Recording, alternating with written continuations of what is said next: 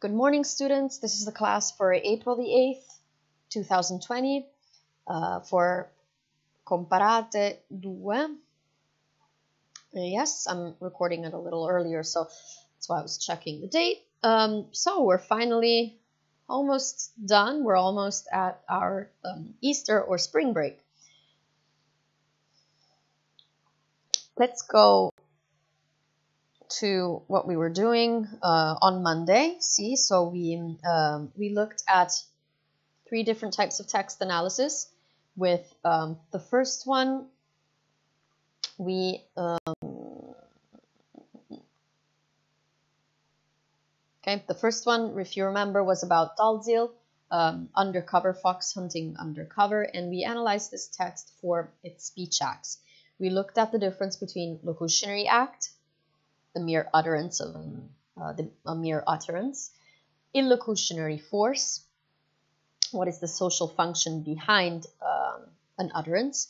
And finally, perlocutionary effect, the effect that um, an utterance has on the hearers.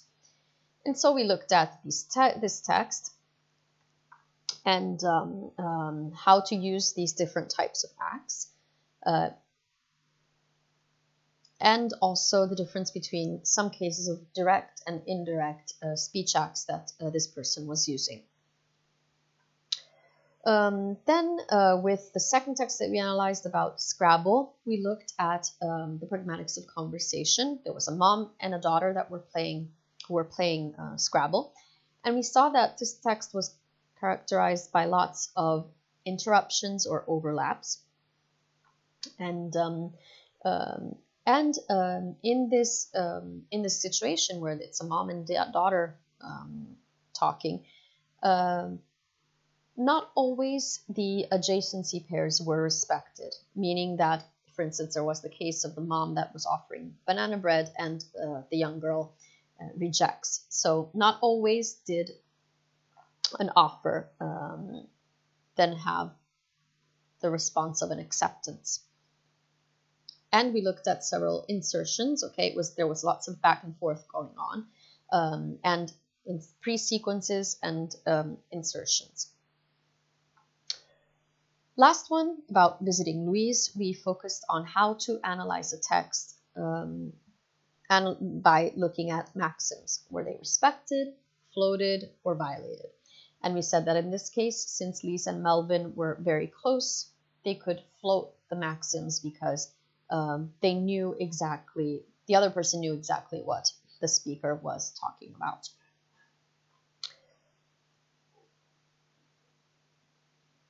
Okay, and then um, for the videos, we watched something about the Big Bang Theory, um, some parts of the Big Bang Theory and how flat maxims were floated in that case, and then the song.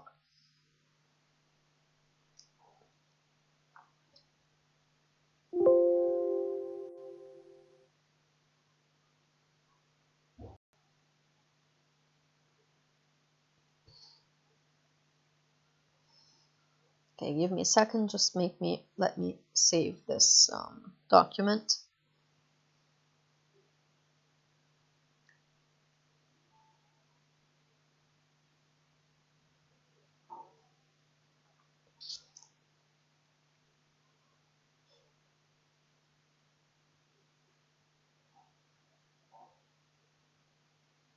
Okay, so today we'll continue with section B of your text, um, and we probably might start section C. Because remember that we have not only this book, but also the book on semantics that is a little more difficult, so we need to devote some time to that. What are we going to look at for today? The principle of politeness in this text about imperialism. Um, it is from a lecture on European um, imperialism delivered by this uh, Dr. Smith.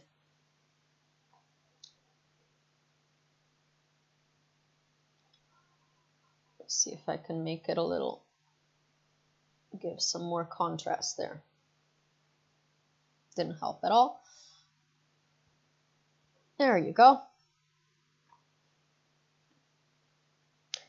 Many of you here today are not from Africa, but you are, many of you, from parts of the world that have been affected by one of the great global forces at work in world history, what we loosely call imperialism. And that is why I thought what I should talk to you about today is the phenomenon of imperialism, not just in terms of the 19th and 20th century, as you will see, not just in terms of the impact of Europe on the non European world.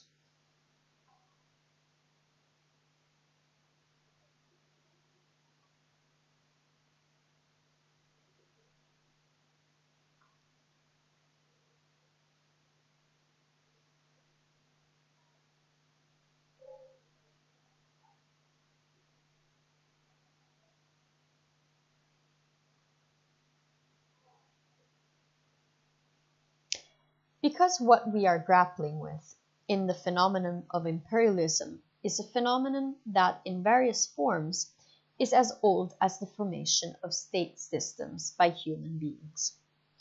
So, I'm going to, um, at considerable risk um, to myself, try to set this phenomenon in a much wider, um, more global perspective.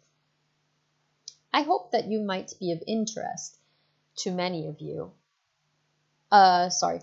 I hope that might I hope that might be of interest to many of you who have either been subjected to what you consider imperialism or indeed have been part of the states and societies that have themselves been imperialistic or are still being so.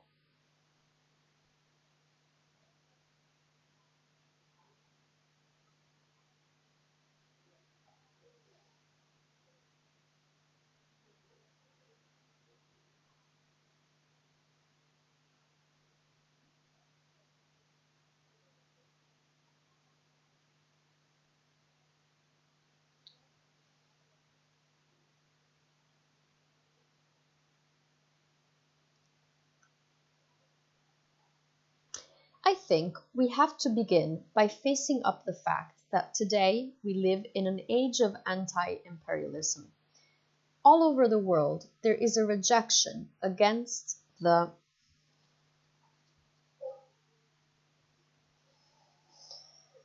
let me see if I make it a little.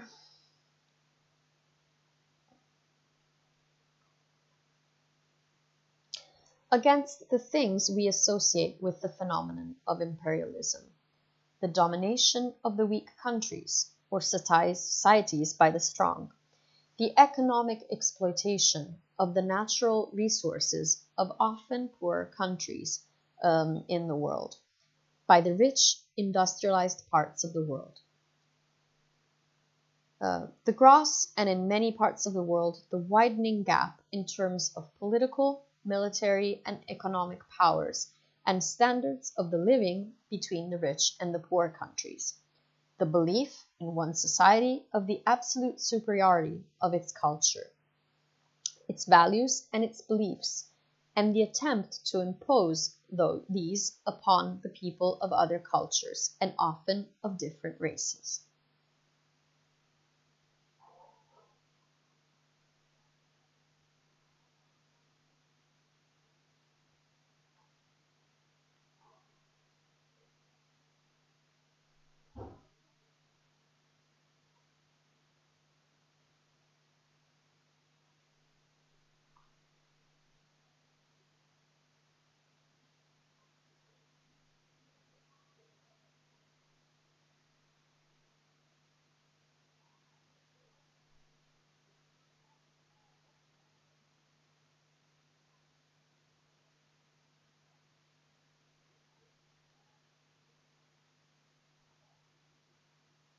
Today, in Europe and America, in the countries of the ex Soviet Union and in Asia, as well as in all those areas of what used to be called Third World, which were until so recently under European influence or indeed colonial rule, imperialism is regarded as a bad thing.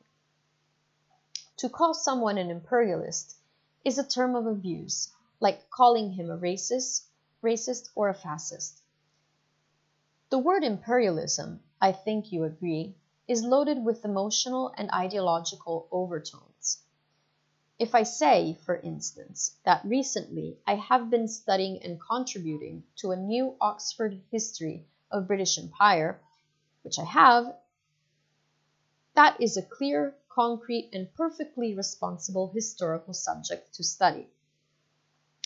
It was indeed the most powerful and expense, extensive empire in the world history. But if I say I'm studying and writing about the history of British imperialism, that's already a somewhat different thing. The kind of books that are written about uh, that have uh, that are written about it are different too.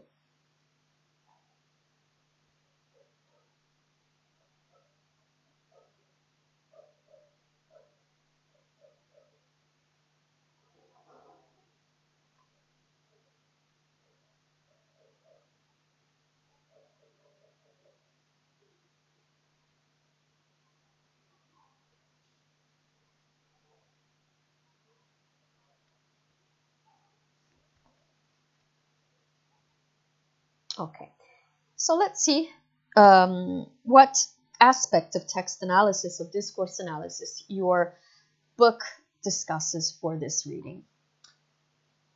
It chose to focus on politeness maxims. As you can see, it's quite a delicate topic, so you understand why it chose to uh, look at politeness for this text.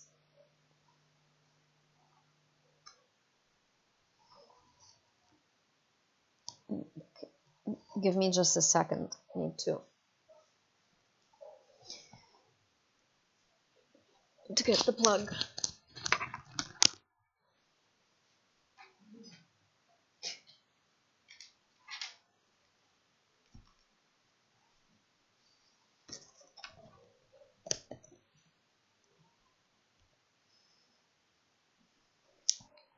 So what is this professor, or at least this lecturer, trying to do? Let's look at line 32, where there is the maxim of agreement.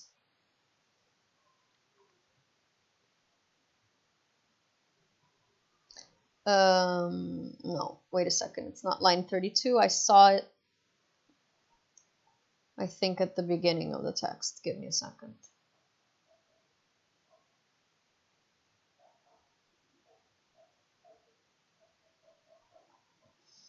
Mm, okay, line six. Okay, um, I should. Uh, where, do, where does it start? And that is what I thought, um, and that is why I thought uh, what I should try to talk to you about today is the phenomenon of imperialism, not just in terms of the 19th and 20th century, as you will see, not just in terms of the impact of Europe and. Okay, so it tries to set the grounds for an agreement with uh, the people, with um, whoever is listening to him with the audience. But we can see this, the maxim of agreement, even more in line number 12. Uh, let me change this a second. This one was line 6. Okay, let's go back there to line 12.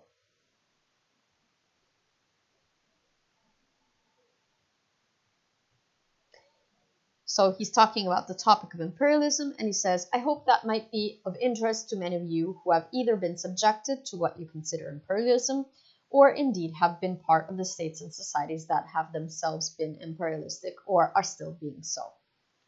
Okay, so he's trying to prepare the grounds for a common agreement with the audience because he wants to convince them at least to um, follow whatever he's saying and probably convince him um, about his theories.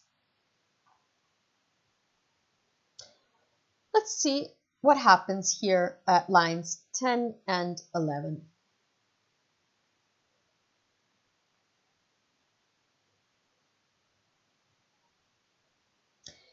So you can see that, especially in this part of the text, there's lots of hesitations, or at least um, pauses.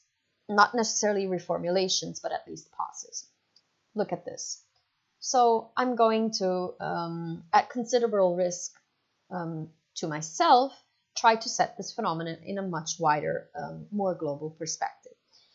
Um, I'm an awful reader, but you can imagine that this person is hesitating. He's probably trying to find the right words to say what he wants to say without being indelicate. The topic is very uh, tricky, let's say, so or at least delicate. And what he's doing here is he's respecting the maxim of generosity. He's putting himself, he's giving most of the cost to himself, he's risking, and giving maximum benefit to the audience.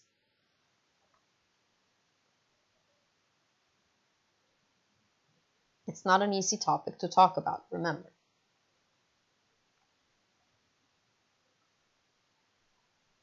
He is risking his face. Hmm?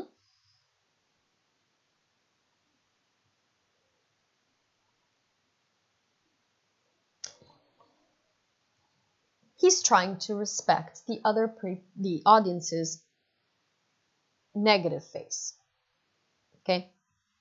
He's hesitating a lot and trying to give lots of hedging because he wants to um, allow the audience to have their own ideas. He wants to apparently respect their own independence and their own independent idea about imperialism, but at the same time, he is doing a face threatening act, so he has to find a way to um, establish a contact with the with the audience without um, I mean without destroying their uh, face completely.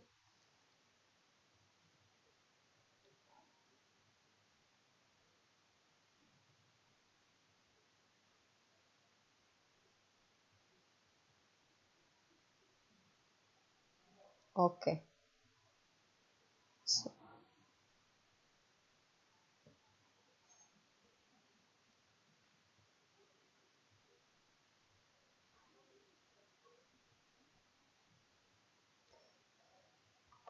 So that is uh, that is the end of section B.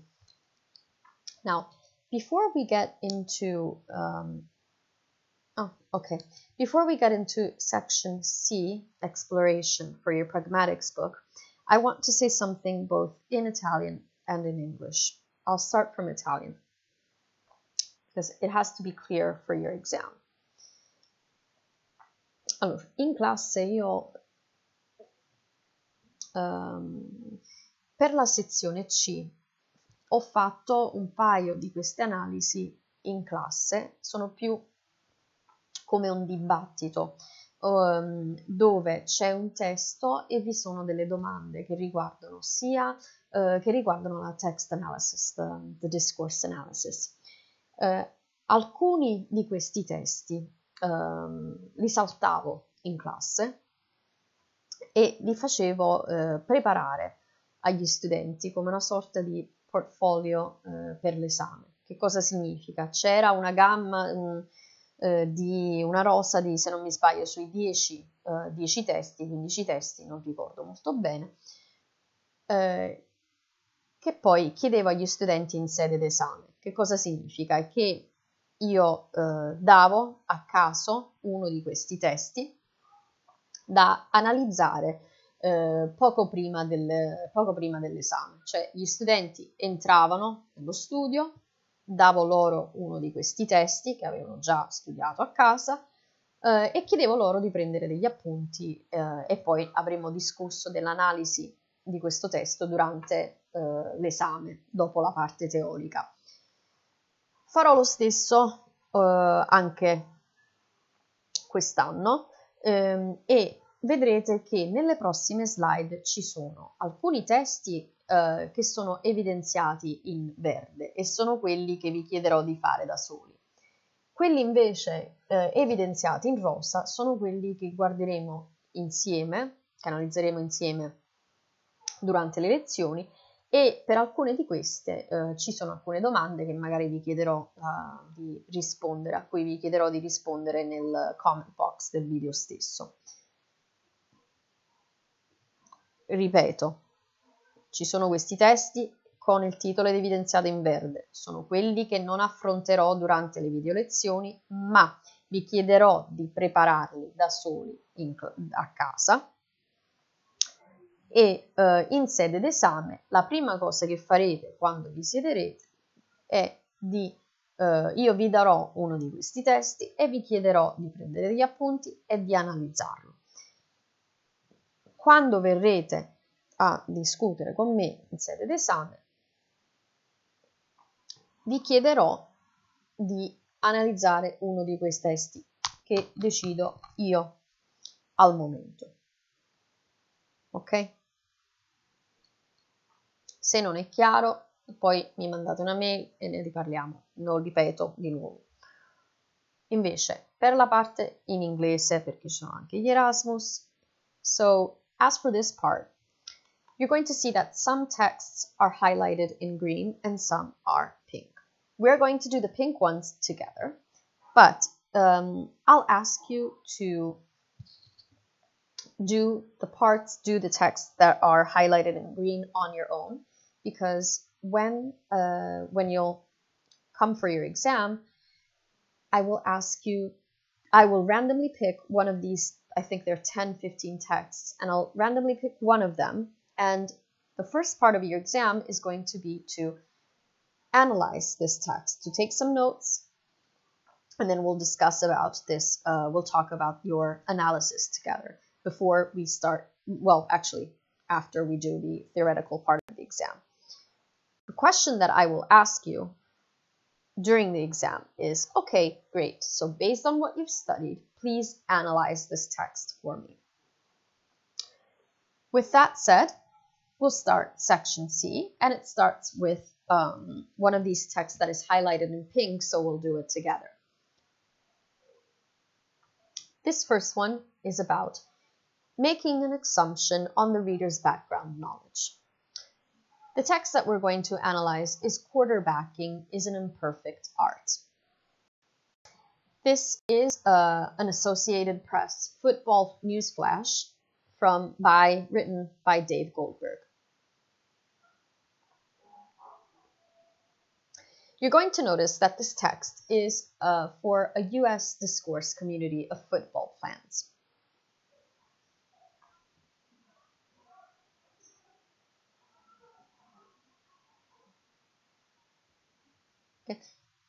As you can see, it's a very short, um, it's a very short paragraph.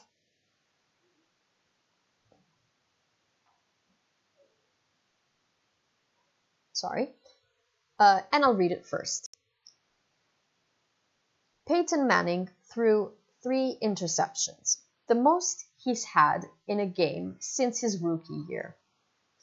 Brett Favre threw three interceptions and fumbled twice. And Mark Brunell fumbled four snaps, losing two, and three and threw interceptions on consecutive possessions before being pulled. Yes, even the best of NFL quarterbacks can have off days. And when they do, their team lose, as the Colts, Packers, and Jaguars did Sunday. There was no bright side, Brunell said after the Jaguars. Uh, after the Jaguars fell three games and a tiebreaker behind Baltimore in the AFC Central. I did not understand a single word of what they're saying. And that, I think, is something that is common to you too. You see that um, the first impression, the first thing that you can tell me is that this is definitely for a specific discourse community. The discourse community it refers to is US football. If you're not into US football, you are definitely not going to understand any single word about this. Or maybe, at least, most of it. Probably we all know the word quarterback. We know that it's a sort of um, that it's a role that is uh, used in um, in football, but not more than that. Okay. If you don't know the technical terms, you do not understand this text. And so probably from there you can tell me about um, the different types of context, for instance. um, no, we looked at social context, um, interpersonal context, cultural context, and the role that this has in texts. Um, or uh, probably you can tell me something about anaphoric reference or cataphoric reference, looking at the first line where he says, the most he's had in a game since rookie year, that is referring to Peyton Manning. Okay. This is, of course, a very short um, and intricate paragraph, so it's not very easy to find other things to mm, refer to. But with longer texts, you'll definitely find a little bit of everything, of all the things that you've studied during the first part of this book. So let's look at some of the questions that it offers anyway. Um, so this text makes no concessions to those um, to those who do not understand the reference of the specialist vocabulary in the in-group terms. Why do you think this is so?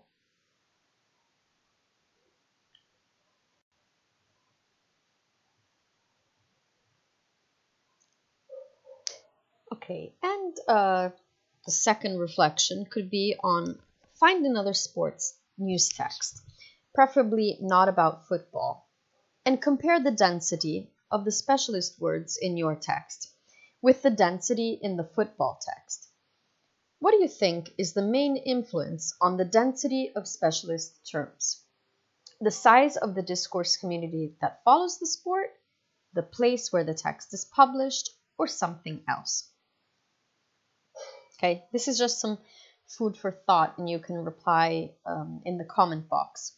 Um, during your exam, I am not going to ask you this type of questions. I'm not going to ask you the questions that are um, that you see over here. I'm just going to ask you to analyze uh, the text, okay, depending on what you've studied. This is just to get into a conversation, a general conversation.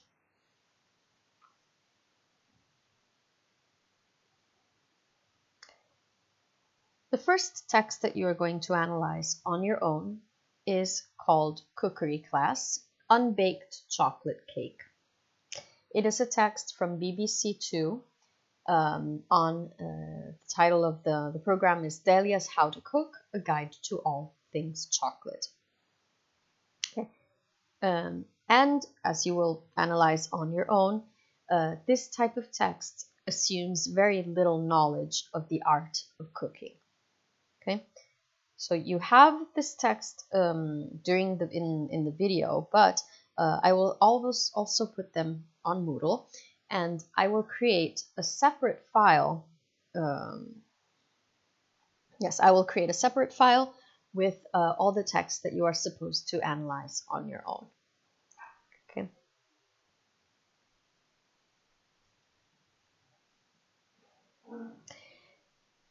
the text, I will read these questions just to show you some of the examples of what you could analyze. Okay, but again, I'm not going to ask these questions during the exam. For instance, out of all the referring expressions, roughly what proportion have exophoric reference and what proportion contain deixis? How much have you lost by reading the script as opposed to actually seeing the TV program. Okay, so probably you can give me some examples about endophoric reference and exophoric reference. Um, another comment could be on this. How explicit is the language? Are there any parts that you would rewrite in a less explicit way if you were to aim at an audience of more experienced cooks? Okay, so how basic is the language? And how would you rewrite the text if you were to have an experienced um, audience?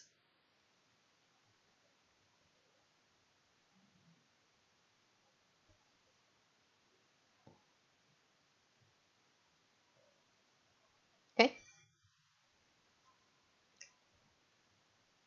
So this text is for you and you will be asked to analyze it based on what you've studied. And that's text number one for you.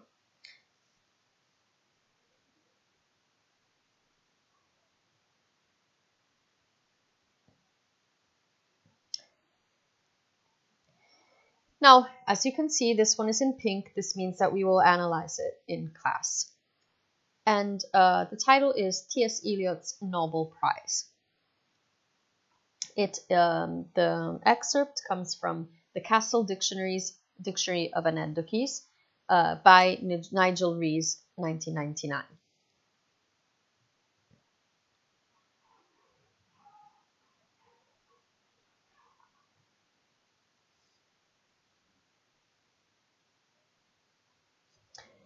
When it was announced that T.S. Eliot had been awarded the Nobel Prize for Literature in 1948, he was making a lecture tour of the United States. A Midwestern reporter asked him if he had been given the prize for his great work, for his great work, The Wasteland. No, replied Eliot. I believe I have been given it in recognition of my whole corpus. Accordingly, the journalist wrote, in an interview with the our airport correspondent this morning, Mr. Eliot revealed that the Swedish Academy had given him the Nobel Prize not for The Wasteland, but for his poem My Whole Corpse. Okay, take a second to a minute to read this on your own.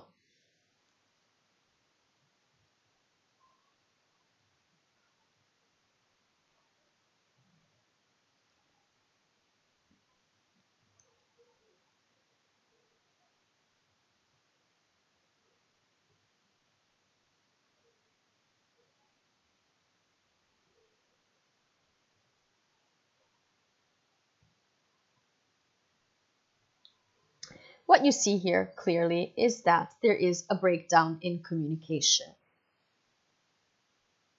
This happens because the speaker implies one thing and the hearer infirms another. So what happened here is that the journalist thought that my whole corpus was was a poem, okay? So that's where the breakdown in communication happens. So if you had to do this for your own exam, if you had to analyze this text for your exam, probably you could tell me something about background knowledge. Okay, so probably, well, not very, actually, truly, uh, the the journalist had little, if not inform, not um, any um, information about this writer. He thought that there was a poem named My Whole Corpus. Probably this person did not even know the word corpus. Okay, so there's some background knowledge that is missing there on the part of the journalist.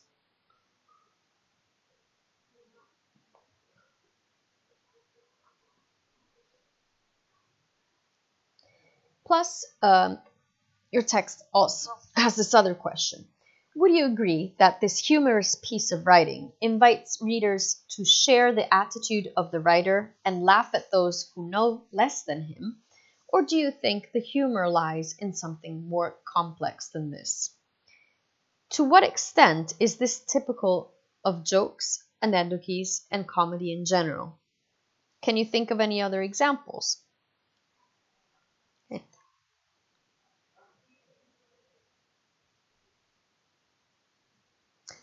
So basically, do you think that the writer wanted to make fun of this person, or is there something more to that than just a simple misunderstanding? Rhetorical question, but you can see if you can come up with any examples of this lack of um, of this misunderstanding, a lack of communication.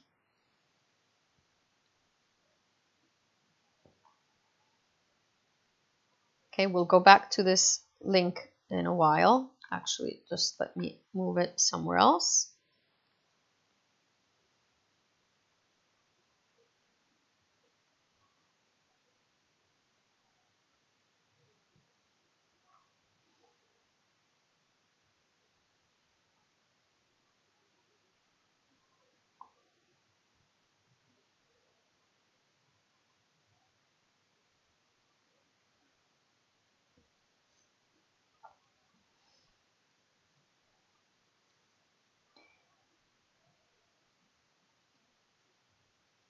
Okay, so when I ask you to analyze this type of text during the exam, I want to know, I don't know, anaphoric, cataphoric reference, um, if you find cases of uh, politeness and how politeness strategies are used.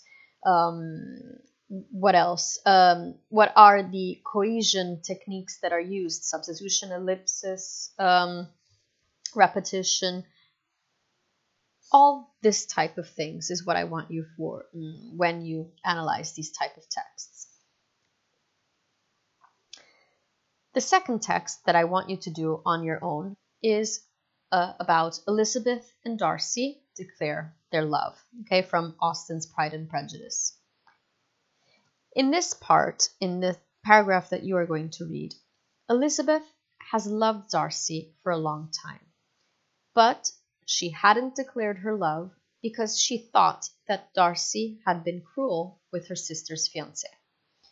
When she discovers that he had actually helped his sister with their financial problems, she eventually declares her love. Okay, so on your own, you will read this this um, this text and then analyze it during the exam based on what you studied. Okay, as you can see, this one is a pretty long one. And uh, some of the questions, some of the clues that your text gives you are um, that uh, this text is based on interpersonal context. Uh, and it asks you to find some examples of intertextuality or how they are expressed.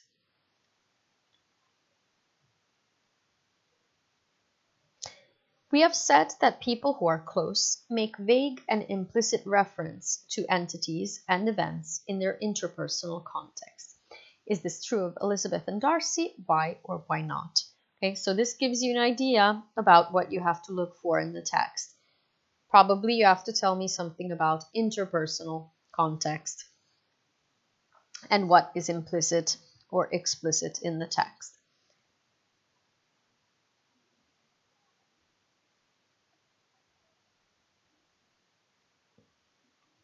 Okay, or do they have a shared attitude to conventions in their common social cultural context?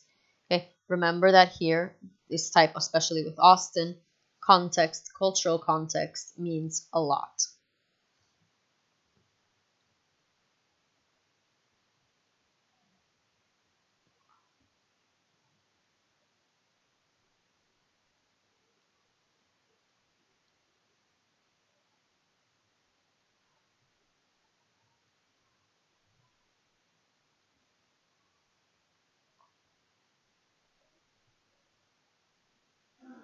Okay, and now um, last text that we're going to look at this time together, you see it's highlighted in pink.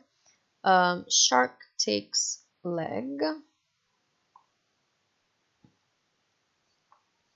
Sorry, give me a second.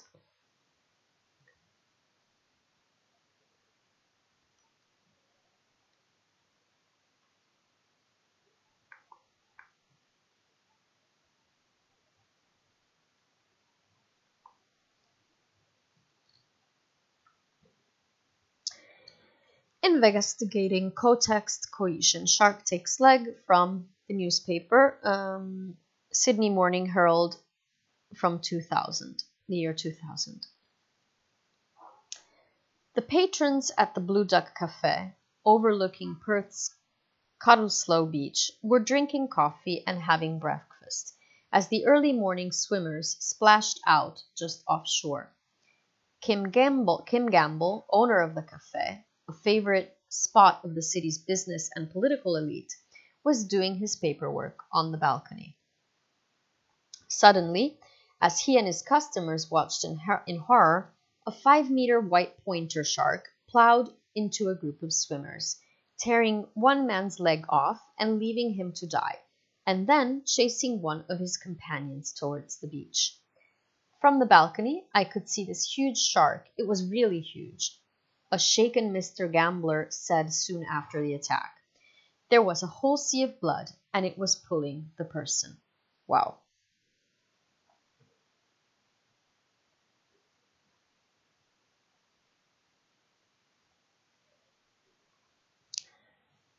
So since your text, your text suggests, the text contains synonyms and anaphoric reference. Where are they and why are they necessary?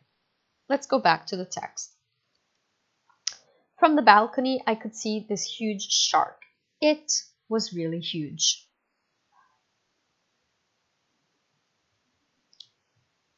Or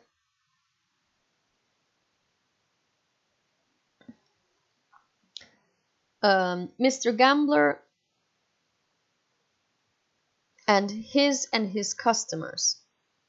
Or let's see if we can find something about the shark. Let's see.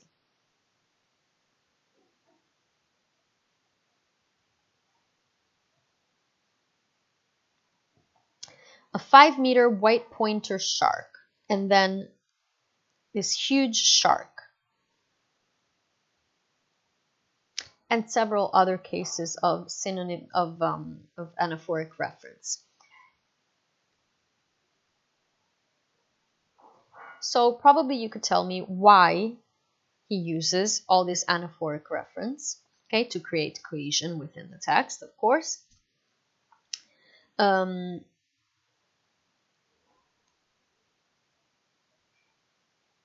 and then he uses shark huge shark and a 5 meter white pointer shark okay, to give further descriptions about, uh, about the shark. And then notice this whole sea of blood. Probably you can tell me something about this. Why do they use this metaphor?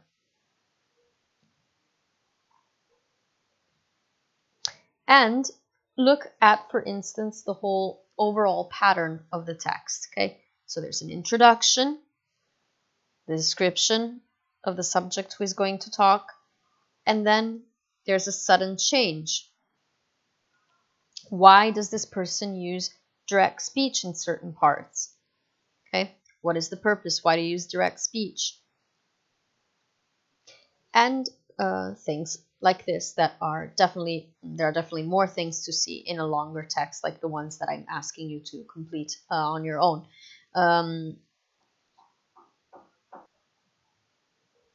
last thing I want you to do for today is uh, we're going to watch this video together uh, about how to speak so that people want to listen. Uh, the video is about 10 minutes and it's about the um, about persuasion and language, and I don't know, probably can help you um, use language better or be a little more um, conscious of how language is used with you. So please pause the video now and watch this other video over here.